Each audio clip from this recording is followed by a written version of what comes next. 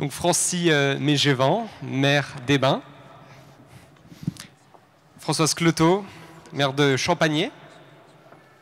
Renzo Sully, maire d'Échirolles. Jérôme Dutroncy, euh, vice-président de la métropole délégué à l'environnement, à l'air, au climat et à la biodiversité, et Guillaume, Gontard, sénateur de l'Isère.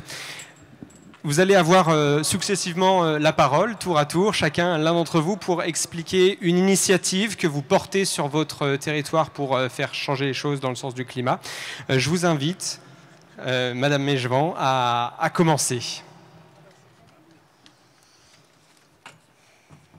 bonjour à tous. On est des petits décideurs qui passons à l'action. Donc, euh, on essaye en tout cas de faire avancer les choses concrètement, puisque effectivement, quand on est élu, on a quelques manettes euh, possibles.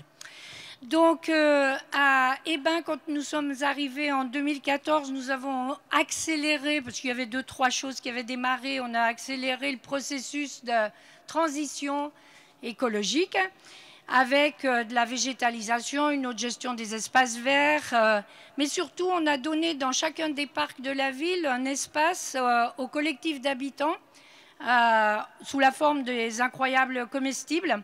Et dans chaque parc, donc, il y a des collectifs qui cultivent des potagers ou ce qu'ils ont envie de cultiver. Et puis également, on a travaillé beaucoup sur la transition énergétique.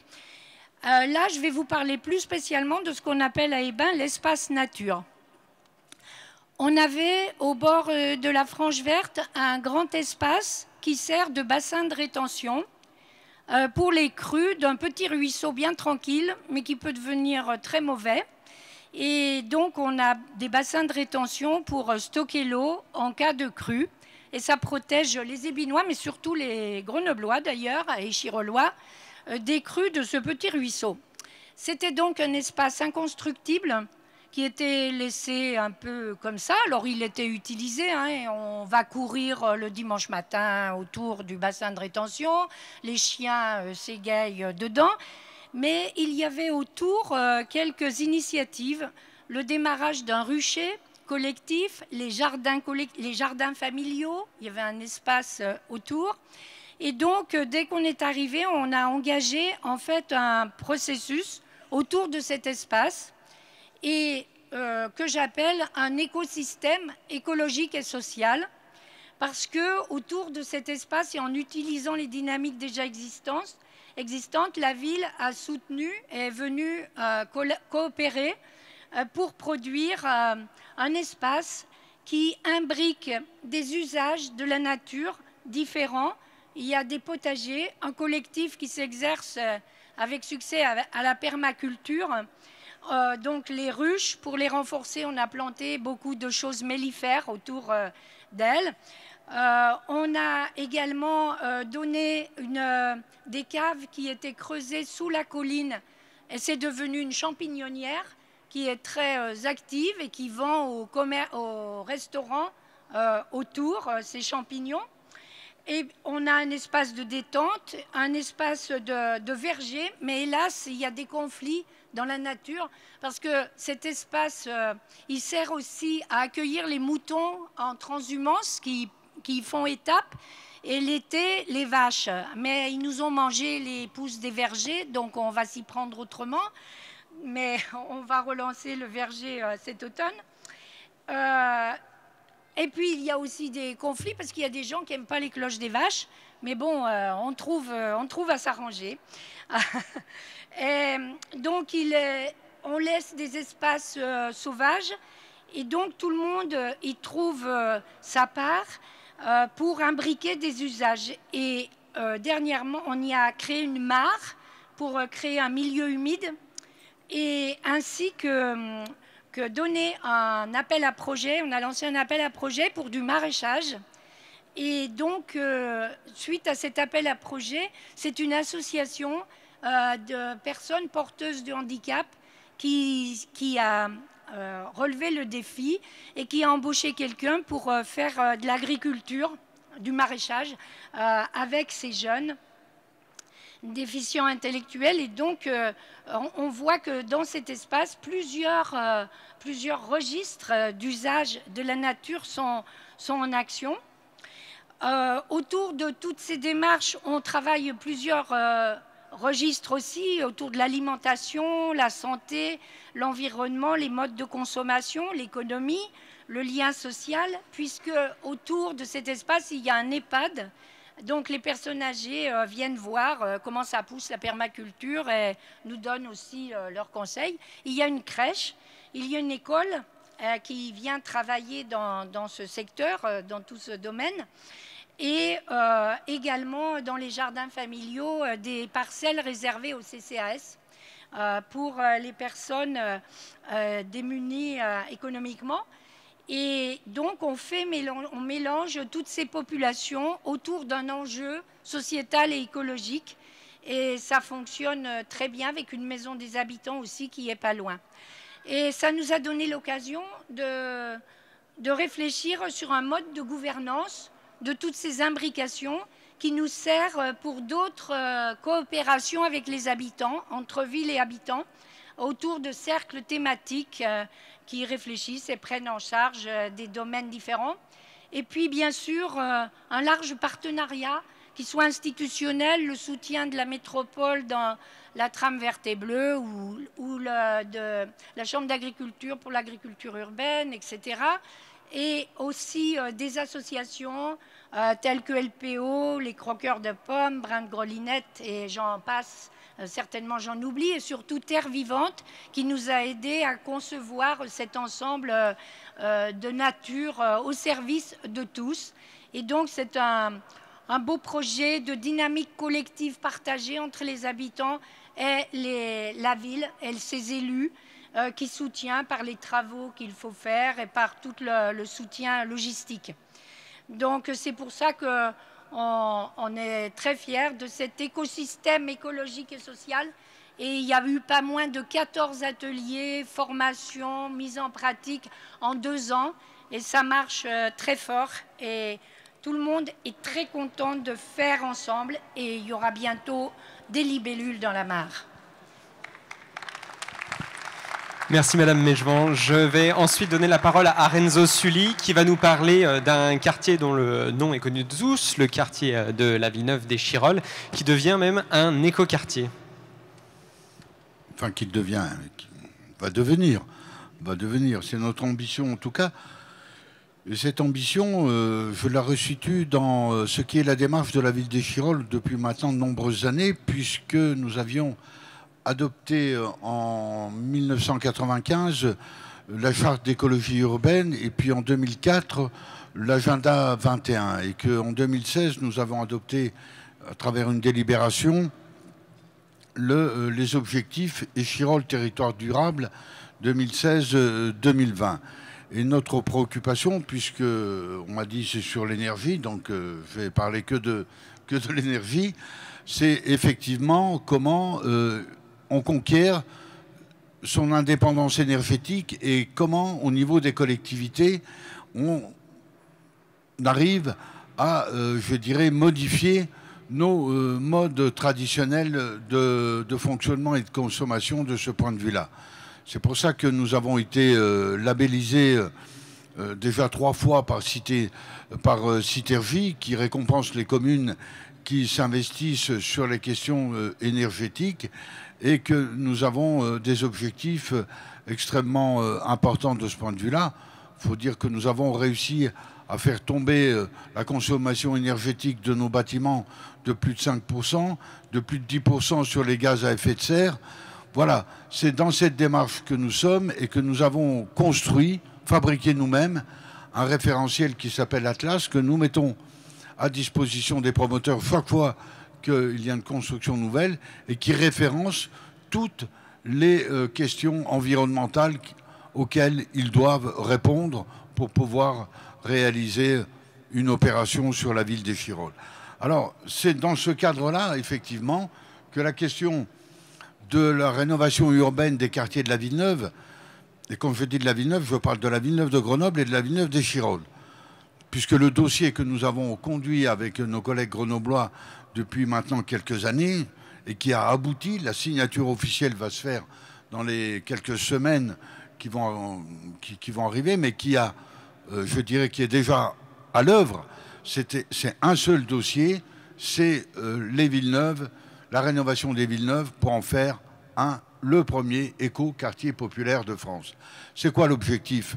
L'objectif, c'est qu'effectivement, aujourd'hui, on sait construire dans le neuf, si on met un certain nombre de critères, si on encadre, si on est attentif, ce qui se réalise est, euh, du point de vue, par exemple, thermique, euh, euh, relativement intéressant. Que fait-on de l'ensemble des quartiers, en particulier des quartiers populaires, qui ont, qui ont, été construits dans les années 50, 60, en tout cas avant 75 Est-ce que sur un projet qui est le plus important de France, entre le dossier Grenoble et Chirol du point de vue de la taille, du point de vue du nombre d'habitants, du point de vue du nombre de logements, rien que sur la partie chiroloise, ce sont 2000 logements qui sont concernés.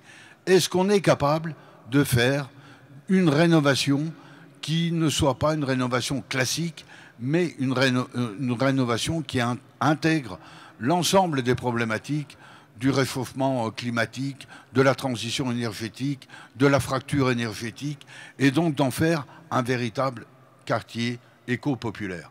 Voilà, c'est l'objectif que nous avons avec euh, la, ville de Grenoble et la métropole sur euh, ce territoire important de notre agglomération et à l'intérieur de, cette question, il y a effectivement la question énergétique, la question des déplacements, la question de la place de l'eau, la question de la fraîcheur, mais il y a aussi la question sociale. Et la question sociale, pour nous, elle est importante. Moi, je fais partie de ceux qui pensent que la question sociale et la question écologique, c'est la même chose. Et que si on n'est pas capable de lier les deux, on ne réglera ni la question sociale, ni la question écologique. Et qu'il nous faut travailler effectivement à faire en sorte que la question sociale dépasse les milieux, je dirais, les plus aisés ou les couches moyennes de notre ville pour atteindre les milieux populaires qui sont importants et en l'occurrence qui sont les premiers concernés dans cette, dans cette opération-là. Et que donc il nous faut allier la question écologique, c'est-à-dire la question de la fin du monde, et la question sociale, la question de la fin du mois. C'est ça qu'il nous faut arriver à faire dans un, je dirais, dans une démarche, dans une démarche qui ne soit pas une démarche, je dirais, euh, comme ça, euh, tranquille, mais une démarche innovante, une démarche de volontaire. Il nous faut une volonté durable sur cette question-là, c'est-à-dire de l'alliance entre la question sociale et la question écologique. C'est l'ambition que nous avons sur les quartiers de la Villeneuve. Nous sommes à l'œuvre depuis des années déjà en, concertation avec les habitants, parce que cela s'est fait, bien entendu, avec des concertations longues, diverses, variées depuis au moins 3-4 ans, et qui a abouti à ce qu'on puisse effectivement mobiliser un certain nombre d'habitants. Je dis bien un certain nombre parce qu'on est loin encore du compte par rapport à tous ceux qui peuvent être concernés de s'engager dans ces quartiers sur, je dirais, quelque chose dont ils s'emparent on n'en est pas encore à ce stade-là. La question citoyenne, la question de la démocratie locale, la question de la participation habitante, elle doit être au cœur de cette démarche-là. Voilà, et si elle est au cœur, on arrivera peut-être à progresser pour effectivement que la question sociale et écologique soit, je dirais, perçue avec la même ampleur de partout. Voilà, merci. Très bien. J'ai une dernière question. Combien d'habitants à Échirol 36 143. Voilà, la, transition est toute faite avec, euh, avec vous. Françoise Cloteau, euh, maire de Champagné.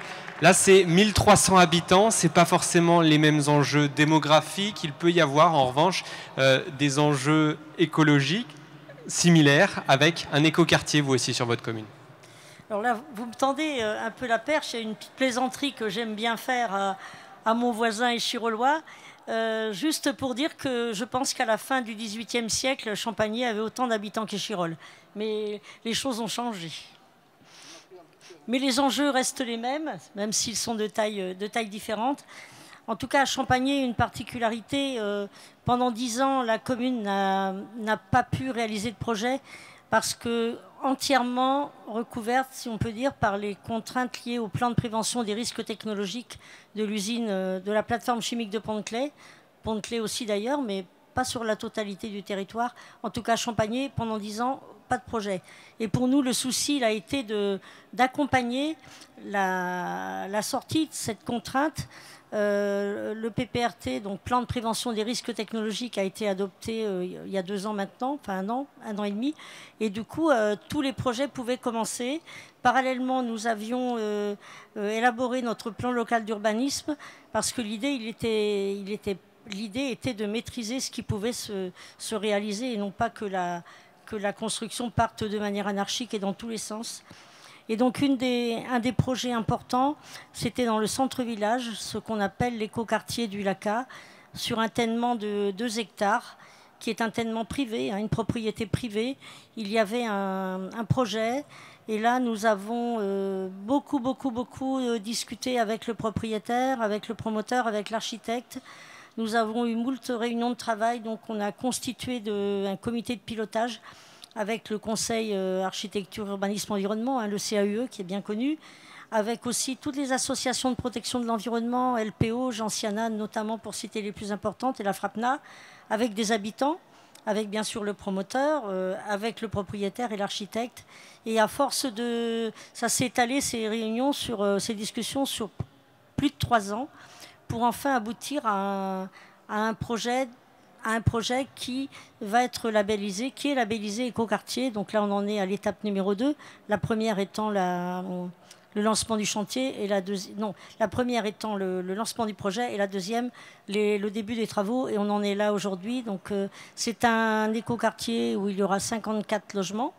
Alors vous savez, dans le, principe de l'écoquartier, je vous ai parlé là, de la gouvernance hein, qui a été partagée pendant de nombreuses années, mais c'est aussi euh, le côté euh, social, parce que dans notre esprit, il était hors de question de ne pas développer l'habitat social sur la commune, puisqu'il y avait très peu, il y a cinq logements sociaux actuellement.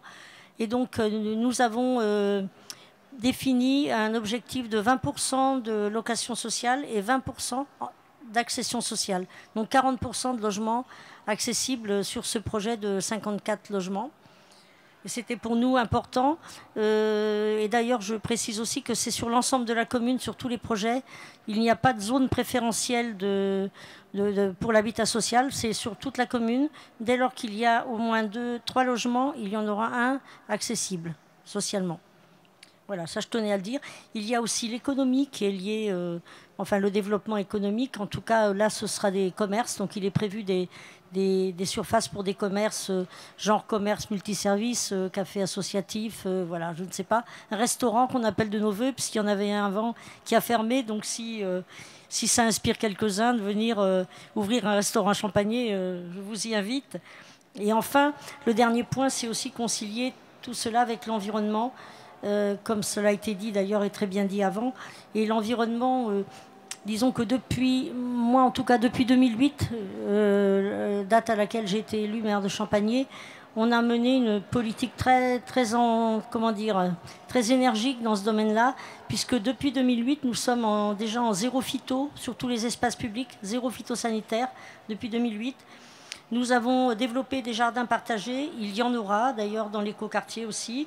Euh, une ruche pédagogique aussi. Euh, vous savez, une ruche pédagogique, c'est une ruche qui en bois, mais qui a des petites portes. Il y a des vitres et des petites portes. Donc on peut ouvrir les petites portes qui ferment à clé. Hein, c'est pas tout le monde qui peut les ouvrir, hein. mais on peut ouvrir les petites portes pour observer les abeilles et voir comment elles travaillent. Euh, voilà. Euh, dans l'écoquartier aussi, euh, il y a un réseau d'eau, une source, une captation d'eau tout le long de la colline qui est derrière. Et donc, on aménage aussi autour de l'eau, en fait, et la place qui suit également. Donc voilà ce que je pouvais vous dire sur l'aménagement de cet écoquartier. Pour nous, c'est important parce que ça permet aussi de relier les deux parties du village. En fait, c'était une zone en centre-village qui était un peu, un peu excentrée et ça permet de, recoller euh, deux morceaux et de créer un centre-village qui, qui manquait un peu. Donc on espère que la, la vie avec l'écoquartier, la vie va se développer et va s'animer euh, dans la commune. Voilà ce que je voulais vous dire.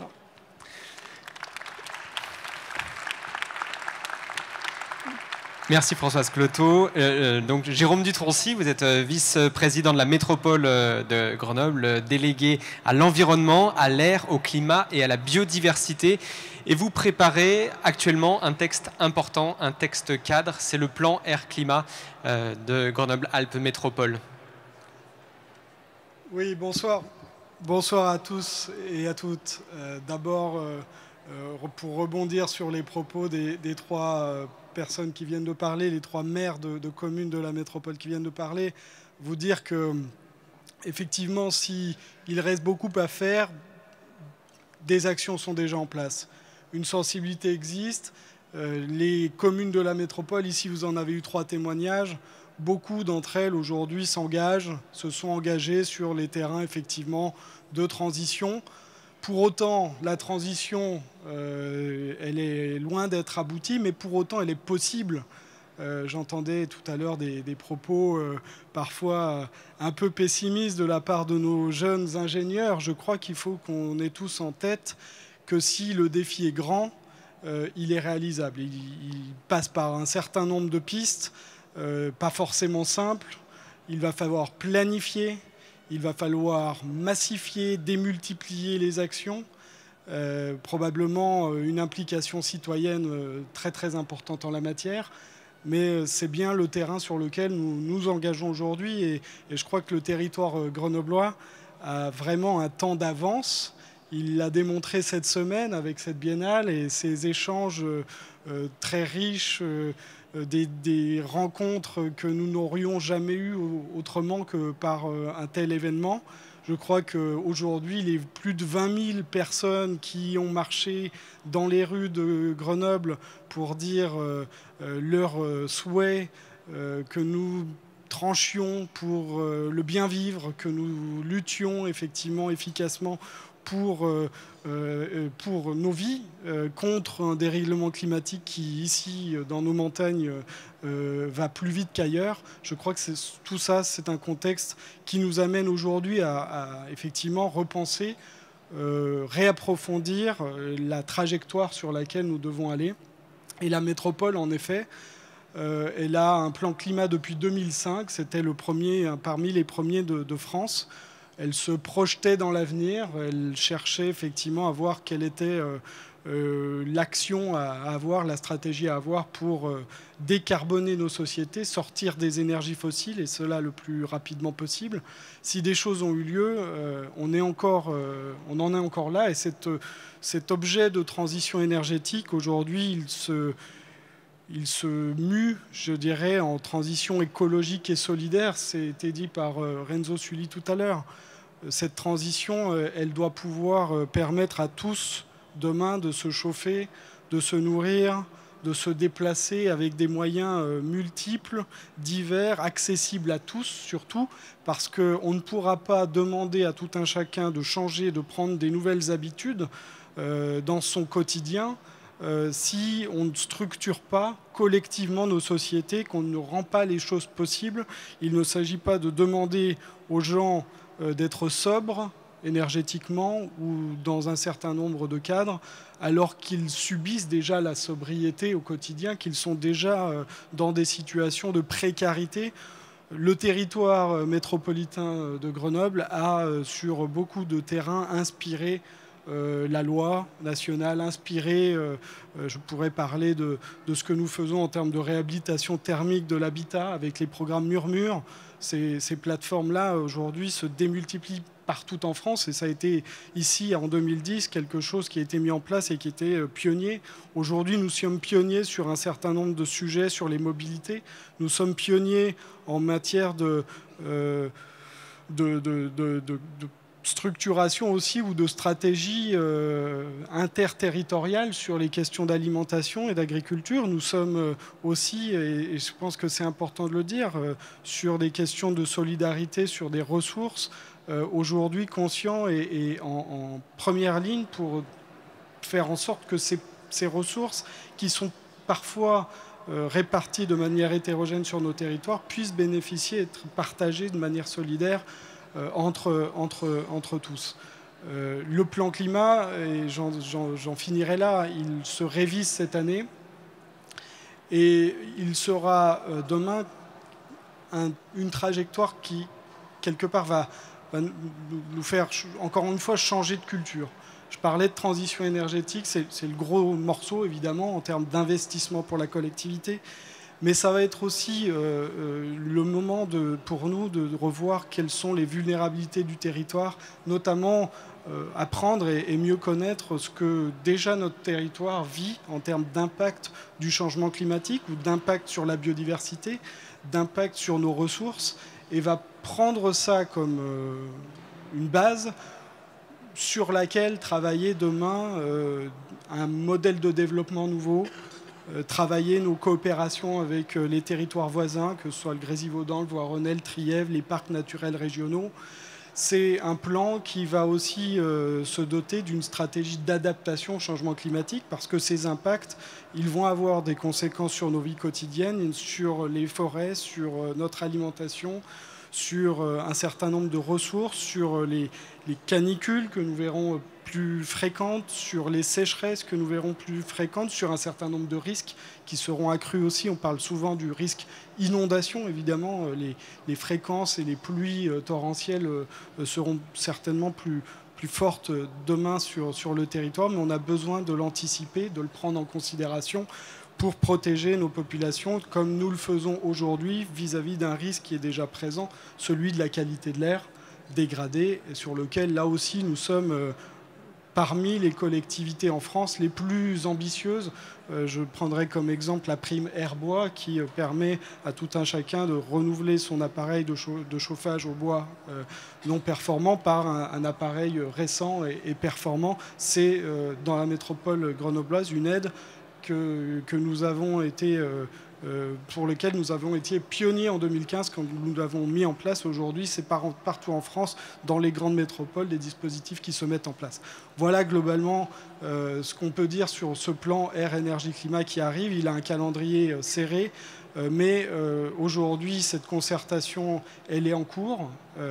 les habitants ont euh, le loisir de proposer des idées, des actions sur la plateforme de la participation de la métropole, participation.lamétro.fr. N'hésitez pas à, le faire, c'est important. Ça va nous permettre, euh, nous élus, euh, d'assembler un certain nombre de ces idées, faire en sorte effectivement d'avoir une trajectoire qui nous soit commune à nous, collectivité, nous, devons d'être exemplaires, mais nous avons aussi besoin d'être un animateur de, de, réseau, un animateur territorial pour que cette transition et cette exemplarité elle soit vraie euh, dans euh, le monde économique, dans le monde universitaire, dans le monde associatif, et puis que nous soyons euh, en mesure effectivement d'accompagner, d'être des guides ou en tout cas des des élus qui, permettent à tout un chacun, individu, de s'engager sur un certain nombre de terrains de transition, euh, à la fois euh, pour euh, tout le monde, parce que c'est un enjeu global, mais aussi parce que c'est aussi nos conditions de survie et de vivre ensemble sur le territoire. Merci à vous. Merci beaucoup. Et pour clore euh, ce chapitre des initiatives euh, locales, des, initiatives du territoire, euh, monsieur le sénateur Guillaume Gontard, sénateur de l'Isère, alors en politique, il y a quand même assez peu de choses qui font consensus. en revanche, l'urgence énergétique, ça commence à faire son chemin. Il y a des groupes transpartisans qui ont été créés à la fois au Sénat et à la fois à l'Assemblée nationale sur cette thématique. Vous en faites partie. Est-ce que vous pouvez nous expliquer un petit peu de quoi il s'agit? Oui, bah, je vais je, vais, je, vais, vous en parler effectivement de, ces groupes qu'on a pu monter au sein du, Sénat et de l'Assemblée nationale. Moi, je voulais... Euh, je, voulais revenir sur, tout ce qui a été dit et sur tous ces exemples et qui sont bien une preuve que ben, d'un certain nombre de collectivités ont effectivement un, temps d'avance et surtout que cette, cette, transition écologique, cette transition énergétique, cette transition sociale, eh ben, les territoires, elle est au cœur de ces territoires et que les territoires, échelons de proximité, ont un vrai rôle à jouer. Et je pense que euh, cette transition, elle passera par, les, territoires. Alors on l'a vu de, différentes manières, illustrées par, euh, euh, par différents projets. il y a eu un certain nombre de choses qui ont été mises mis en place ces, dernières années. Et on l'a vu par exemple avec les programmes TEP-CV ou TEPOS, un territoire à énergie positive qui, donnait une orientation, qui donnait à des territoires de dire, ben voilà, l'horizon 2050, il faut, il faut que vous soyez euh, que, vous, ne consommiez euh, autant que ce que vous, euh, que ce que vous produisez comme, comme énergie, de donner cette orientation, de donner des financements et de permettre à ces territoires de se prendre en main, d'innover, de trouver des solutions. Et on voit qu'à travers ces programmes, partout ça a été mis, ça a été mis en place, et ben on a eu des vraies évolutions, à la fois sur des plateformes de rénovation énergétique, euh, donc ça a été, euh, ça, a été, euh, ça a été rappelé sur des plans alimentaires de, territoire, sur des, sur, sur, des réflexions sur la mobilité, sur la manière de produire l'énergie, et puis surtout une vraie réflexion sur la sobriété et sur comment on peut moins consommer sur un territoire, ou je dirais mieux consommer en tout cas avec les, ressources de territoire. Donc on voit que cet échelon de proximité, il est, il est particulièrement, particulièrement important, et notamment aussi parce qu'on sait que bah, consommer moins, consommer mieux, euh, se déplacer autrement, c'est changer des habitudes. Et changer des habitudes, c'est jamais facile pour personne. Et on a besoin de cet accompagnement, on a besoin de cette proximité. Et les communes, les intercommunalités, qui sont, vraiment l'échelon de cet échelon de proximité, peuvent permettre ce, cette évolution et ce, changement, des pratiques, souvent de manière, euh, pédagogique. Alors qu'est-ce que, en tant que, en tant que parlementaire, c'est vrai qu'on s'est, euh, on s'est rendu compte, et on, l'a vu encore euh, aujourd'hui avec 20 000 personnes, 20 euh, 000 personnes dans, les rues qui disent euh, bah, qu'il faut agir, qu'il faut se dépêcher et de se dire que ben voilà, ce qui était mis en place au niveau du, gouvernement, les mesures qu'on pouvait prendre, ça ronronnait, ça n'avançait pas, et de se dire essayons de travailler de manière transpartisane ensemble à l'échelle du Sénat, à l'échelle de, l'Assemblée nationale, et d'essayer de monter un groupe transpartisan avec les sénateurs qui le, qui le souhaitaient pour se dire mettons-nous d'accord au moins sur des mesures très précises, très pratiques, sur lesquelles on serait d'accord de mettre en place immédiatement pour, euh, bah, pour aller de l'avant. Et donc c'est ce qu'on a essayé de créer avec une soixantaine de sénateurs à l'initiative du sénateur Ronan Dantec, euh, d'essayer de, créer ce groupe au Sénat. L'équivalent a été fait euh, euh, à l'Assemblée nationale. Et on s'est mis d'accord au Sénat, par exemple, sur neuf, euh, mesures. je ne vais pas toutes vous, les décliner, mais, euh, mais certaines mesures qui, se, dirigent directement vers, vers les collectivités. Parce que tout ce qui a été dit là, toute cette innovation, bah bien sûr, il faut quand même du financement. Il faut pouvoir avoir bah à la fois cette direction qui est donnée par l'État, il faut avoir de l'argent. Et donc, comment on finance cette politique locale qui est mise sur la transition? Et donc, une des propositions, c'est de se dire qu'on a une contribution euh, climat-énergie, hein, la fameuse taxe carbone, même si euh, euh, la, trajectoire de la taxe carbone a, été arrêtée pour, pour, cette année. En tout cas, ce, prélèvement de taxes existe, existe bel et bien. Et de dire, eh bien, il faut, et puis c'était d'ailleurs une des critiques, de dire qu'est-ce qu'on fait de cet argent Ça sert à combler le déficit de l'État de dire, eh ben non, il faut qu'il y ait réellement une partie qui soit orientée, qui soit orientée sur la transition énergétique et notamment orienté sur les collectivités locales. Et donc là, on a un vrai consensus, en tout cas au Sénat. Il y a d'ailleurs déjà, eu des textes qui ont été votés dans ce sens-là, qui n'ont pas été votés à l'Assemblée nationale, mais en tout cas, on pousse dans ce sens-là pour dire bah, cette, contribution, faisons en sorte qu'elle soit directement euh, fléchée sur les, collectivités, notamment les, collectivités qui ont un, plan climat, air, énergie. Ça a été dit par euh, Jérôme Trancy pour que vraiment elles puissent le mettre en, application et qu'on ait vraiment cette, euh, cette volonté politique. Il y a un autre aspect sur lequel on s'est mis d'accord, qui est que récemment, l'année dernière, on a demandé aux plus grosses collectivités, euh, enfin en tout cas un certain nombre de, collectivités de, taille importante, euh, de contractualiser avec l'État euh, pour limiter leur, leur, budget de fonctionnement et que ce budget de fonctionnement n'augmente pas de plus de 1,2%. c'est voilà, des contrats qui ont été signés entre l'État et ses collectivités, avec bien sûr bah, des, mesures contraignantes si les collectivités dépassent ce budget de 1,2%.